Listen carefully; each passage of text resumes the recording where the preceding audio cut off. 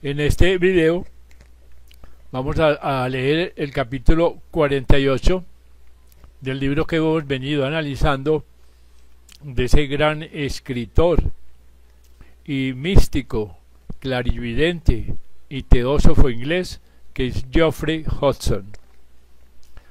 Como hemos venido analizando determinadas partes de la Biblia, en ese libro que, que tan interesante que se llama La sabiduría oculta de la Biblia, de la Santa Biblia, vamos a hacer acá una, un, una especie de resumen que él presenta en el capítulo 48 de este libro, donde eh, sintetiza lo que es el método de análisis esotérico que él emplea para decodificar la Biblia.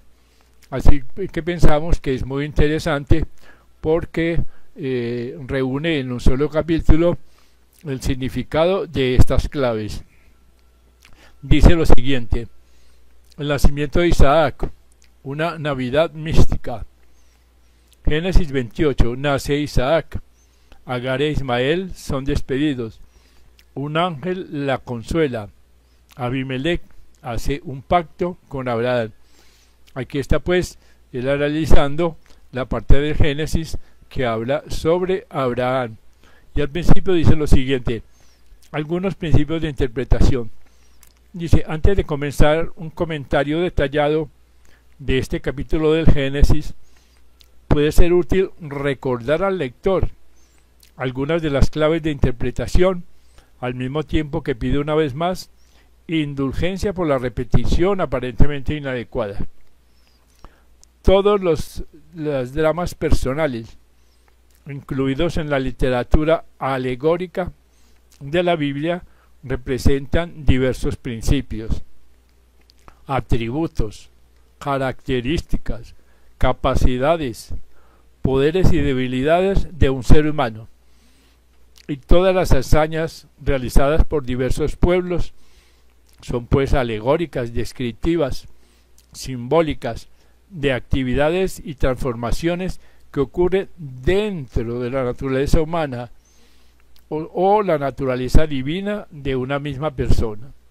Así pues, los fenómenos y eventos están diseñados para retratar los resultados de estas acciones y vicisitudes, mientras que el producto final o conclusión de la historia ya sea matrimonio, parentescos, productividad y progreso, o decadencia, caída y muerte, describen simbólica o alegóricamente la consumación de una fase de la evolución humana.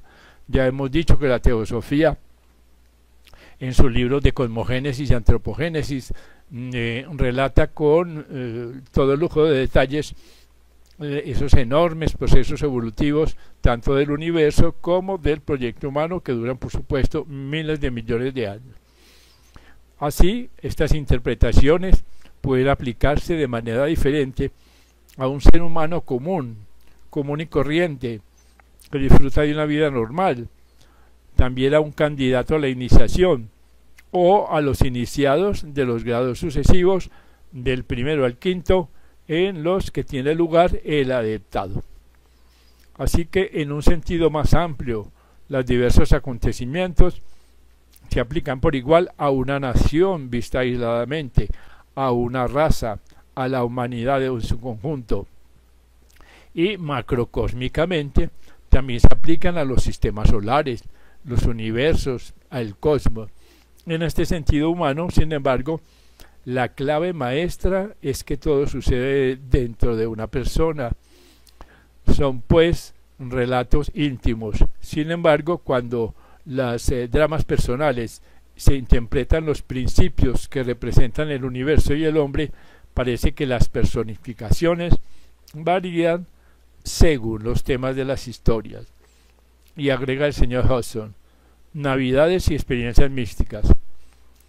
La Natividad de Jesús, por ejemplo, es un ejemplo de esta personificación de los principios humanos y variaciones en las posibles interpretaciones.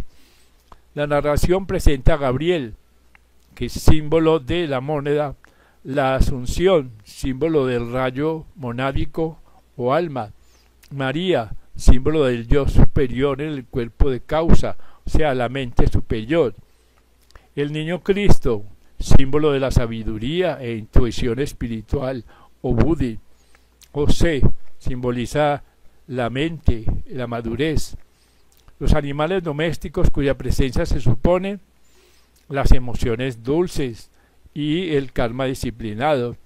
El pesebre simboliza el doble etérico. El establo significa el cuerpo físico y la envoltura áurica. Así que como ocurre frecuentemente, tanto en el Antiguo como en el Nuevo Testamento, los dramas personales que se encuentran en las historias de la Biblia son siete. Aunque esto puede ser una mera coincidencia, parece más razonable considerar esta enumeración como deliberada particularmente si se acepta la opinión de que los autores de ciertas partes del Antiguo Testamento y los evangelistas eran pues cabalistas eruditos, por lo tanto estaban velados en el momento en que también revelaron ciertos aspectos de su sabiduría dadora de poder. Y añade el señor Hudson.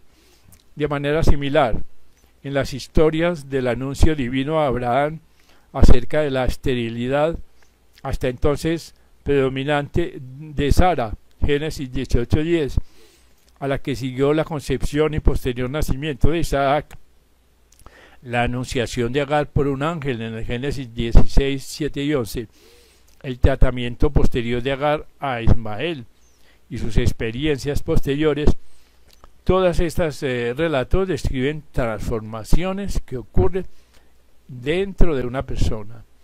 Sin embargo, hay que tener en cuenta las correspondencias discrepantes que exigen los propios relatos. Por ejemplo, Abraham a veces representa el alma humana, que es la mónada. Pero de vez en cuando, como en la historia de Abimelech, esa mónada se individualiza como el yo espiritual reencarnante, o sea, el ego humano. Así que con referencia a las concepciones de Ismael e Isaac, la historia de Abraham incluye apropiadamente el Señor Dios, representado por la mónada, la promesa del Señor de la concepción y el propio Abraham como agente divino, que viene a ser el rayo monádico, o sea, el alma humana. Sara personificada la forma mente, ahora unificada como inteligente abstracta. Y Sadak simboliza la sabiduría espiritual y la habilidad intuitiva. Agar simboliza la mente inflamada por el deseo. Ismael viene a simbolizar la fuerza de voluntad expresada como deseo y luego sublimada cuando Ismael se convierte en arquero. La casa de Abraham simboliza el cuerpo físico o la envoltura áurica. El desierto de Parán simboliza la renuncia al deseo y a la sensación de vacío experimentada inicialmente. La sed representa el comienzo de la aspiración a las alturas espirituales que conducen a la sublimación. El odre de agua entregado a Agar por Abraham simboliza el deseo posesivo, personal. El pozo en el desierto revelado por el ángel representa la visión del amor universal. El agua del pozo representa la universalidad o impersonalidad de la vida, el amor, el pensamiento, la voluntad. Y la esposa egipcia representa la sabiduría espiritual derivada de un santuario de los misterios mayores. Así pues, en la interpretación iniciática, el yo superior en su cuerpo de causa, simbolizados por Abraham y Sara, renuncia a la expresión del individualismo, del deseo, o sea, la expulsión de Agar e Ismael, en favor de, de una realización espiritual, representadas como la concepción y el nacimiento de Isaac. La naturaleza personal, pues, que sufre durante un tiempo, como Agar e Ismael, y finalmente adquiere poder e inicia en los misterios mayores después de haber pasado por la muerte y la resurrección filosófica conocida como iniciación. Así que el paso de los llanos a las montañas, las visitas del Señor y el sometimiento a su voluntad, todo indica que el centro de la conciencia se va elevando lentamente, superando la perspectiva formal, material y egoísta de la naturaleza personal en ese reconocimiento de la espiritualidad, ley y sumisión a ella que caracterizan la actitud del iniciado ante la vida. También se emplea con frecuencia el simbolismo astrológico, siendo esta la costumbre en Caldea. Así pues, la sustitución de Isaac por un carnero simboliza a Arias en el sacrificio. La ofrenda de un odre de agua simboliza el signo de Acuario, a Agar en el desierto, y la presentación de Ismael como un arquero simbolizan a Sagitario y se refieren respectivamente a los atributos y cualidades zodiacales internos y las influencias que conducen y conciernen a cada raza.